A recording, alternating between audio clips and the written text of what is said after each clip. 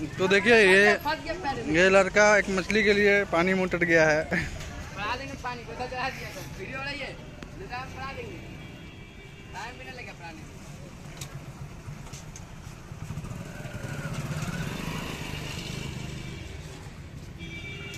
एक मछली के लिए पानी में उतर चुका है लड़का।